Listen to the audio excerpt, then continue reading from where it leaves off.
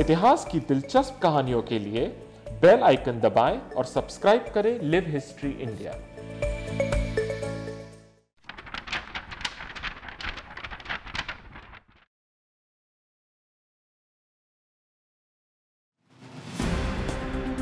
बहुत सारी अन्य खूबियों के साथ भारत रहस्यों के मामले में भी दुनिया में सबसे आगे है।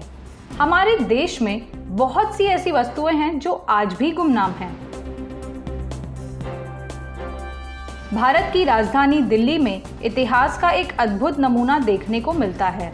दिल्ली के मेहरोली में स्थित कुतुब मीनार कॉम्प्लेक्स के निकट ही है ये विशाल लोह स्तंभ। लगभग 1600 साल पुराना ये स्तंभ आज भी अपनी उच्च तकनीक की वजह से दुनिया के कई वैज्ञानिकों को चुनौती दे रहा है। इस पर संस्कृत में कुछ लिखा हुआ है, जो चौथी शताब्दी की है। ये लोहे की लाट चौथी शताब्दी यानी गुप्त राजवंश के काल की है। इस पर खुदे अभिलेख में राजा चंद्रगुप्त विक्रमादित्य का उल्लेख है, जिनमें राजा चंद्रगुप्त द्वितीय की वीरता और यश का गुणगान है।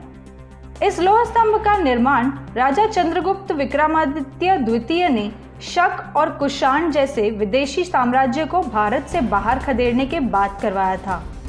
इस महान विजय की स्मृति के तौर पर ही चंद्रगुप्त ने इस स्तंभ को बनवाया था। इसी वजह से इसे विजय स्तंभ के नाम से भी जाना जाता है।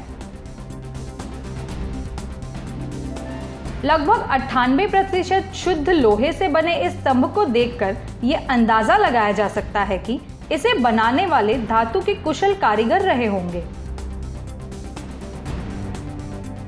लेकिन लोहे से बने इस स्तंभ की प्रसिद्धि की वजह कुछ और ही है।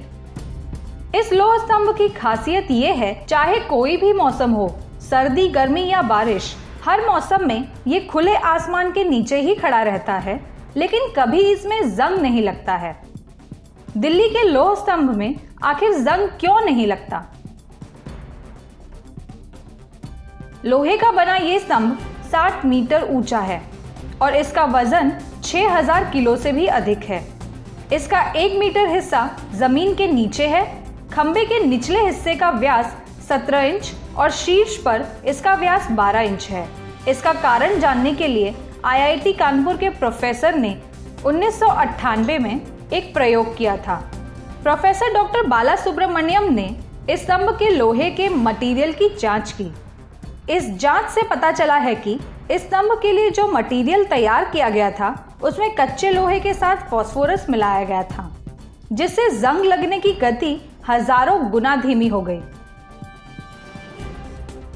आश्चर्य की बात यह है कि हमारे पूर्वजों को इस जंगरोधी गुण के बारे में कैसे पता चला, जबकि फास्फोरस के जंगरोधी गुणों का पता आधुनिक काल में चला है।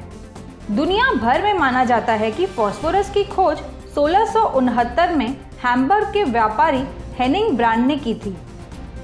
इससे पता चलता है कि पुरातन काल में भी धातु विज्ञान के बारे में उच्च कोटि का ज्ञान था। ये विशाल स्तंभ दिल्ली के इतिहास का अभिन्न अंग है। संपूर्ण विश्व से लोग इतिहास के इस करिश्मे को देखने आते हैं।